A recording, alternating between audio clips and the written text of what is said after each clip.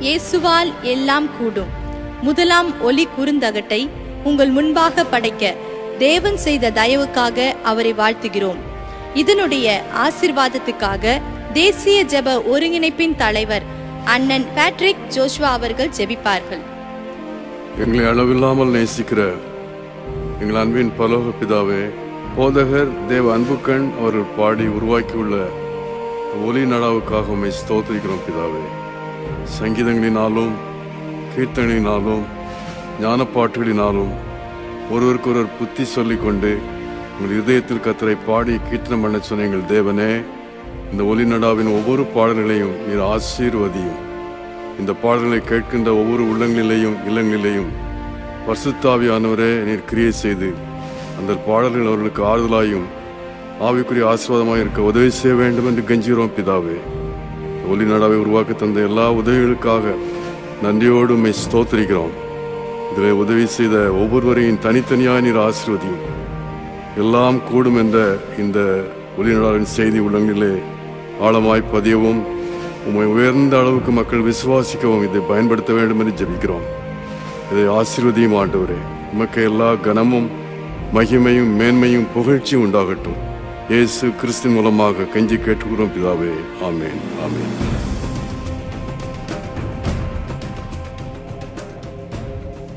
அன்பான தெய்வ பிள்ளைகளே தேவ தயவு என் மீது வந்ததின் விளைவு. ஆயிரத்தி தொள்ளாயிரத்தி எழுபத்தி ஒன்பதாம் ஆண்டு ஜனவரி மாதம் என் வாழ்க்கை மாறியது. கல்லூரிக்குள் காலடி வைத்த நான் கல்வாரி அன்பை கண்டடைந்தேன். வாலிப வயதின் கவர்ச்சிகளெல்லாம் என் விடுதலை நாயகன் இயேசுவுக்கு முன்பாக கரைந்து மறைந்து போயின. அந்த இயேசு நம் தேசத்தின் அவல நிலையை அடியேனுக்கு காண்பித்து எசேக்கியேல் இருபத்தி ரெண்டு முப்பது மூலம் நான் தேசத்தை அழிக்காத படிக்கு திறப்பிலே நிற்கவும் சுவரை அடைக்கவும் தக்கதாக ஒரு மனிதன் தேவை என்பதை எனக்கு உணர்த்தினார். கிறிஸ்துவை ஏற்றுக்கொண்ட அந்த வருடமே தேசத்தின் திறப்பிலே நிற்க என்னை ஒப்பு கொடுத்தேன் நான் வளர்ந்த கிராமத்திலும் அதை சுற்றியுள்ள கிராமங்களிலும் தேவ செய்தியை சுமந்து சென்றேன்.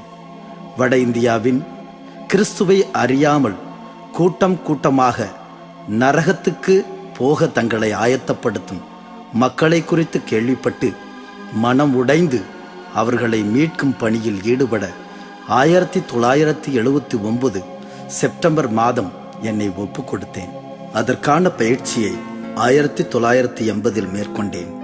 தேவனுக்கு விரோதமாக முரட்டாட்டம் செய்து தங்களுக்கு இஷ்டமான கடவுளர்களை பின்பற்றி காசேதான் கடவுள் என்று வாழ்ந்து பணம் மேலே தன் பாசமெல்லாம் வைத்து இப்படிப்பட்ட வாழ்க்கை வாழும் மக்களை கிறிஸ்துவின் மந்தைக்குள் கொண்டு வருவது மனுஷனுக்கு கடினமான காரியமாக இருந்தாலும் தேவனால் எல்லாம் கூடும் என்று தேவன் மார்க்கு பத்து இருபத்தி ஏழு மூலம் ஆயிரத்தி தொள்ளாயிரத்தி எண்பத்தி ஒன்னில் என்னோடு பேசினார்.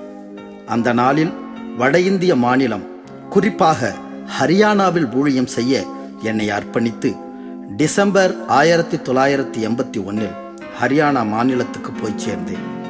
நானும் என் சக ஊழியர்களும் புதிய புதிய சவால்களை சந்திக்க ஆரம்பித்தோம். இனம் தெரியாத மக்கள் அர்த்தம் தெரியாத பாஷை. இதனால் வரை அனுபவிக்காத பருவநிலைகள் மாறுபட்ட உணவு வகைகள் இப்படிப்பட்ட சூழ்நிலைகளில் தேவனை துதிக்க புதிய பாடல்களை தர ஆரம்பித்தார். அவைகளை ஒளி குறுந்தகட்டின் வடிவில் கொண்டு வர இத்தனை வருடங்கள் கழித்து இப்பொழுது சாத்தியமாக்கினார். பிரியமானவர்களே கேளுங்கள். என்னோடு கூட தேவனை இத்தேசத்தில் மகிமைப்படுத்துங்கள். பிதா குமாரன் பரிசுத்த ஆவியானவர். இப்பாடல்கள் மூலம் மகிமைப்படுவாராக. ஆமேன்.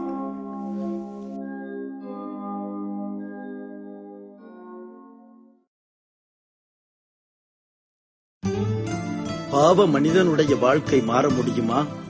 பாவத்தின் சாபத்தில் மூழ்கி கிடக்கும் நம் இந்திய தேசம் பாவ விடுதலையை பெறக்கூடுமோ? கூடும். எல்லாம் கூடும். என் இயேசுவால் எல்லாம் கூடும். இதைத்தானே மார்க் பத்து இருபத்தி ஏழு கூறுகிறது.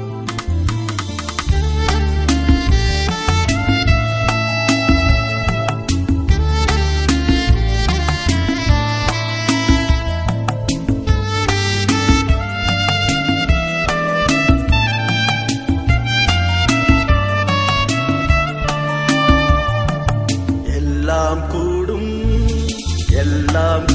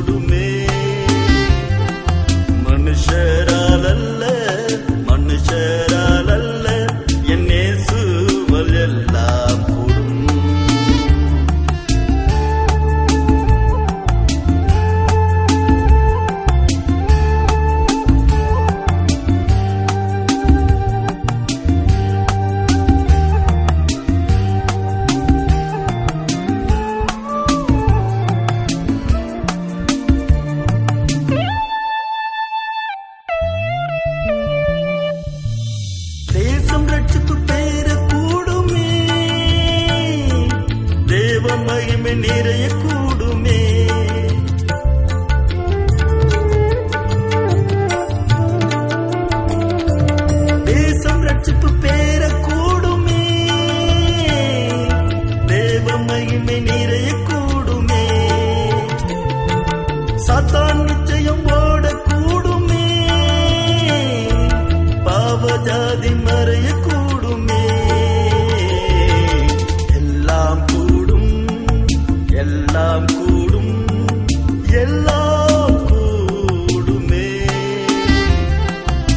மனுஷராலல்ல மனுஷர்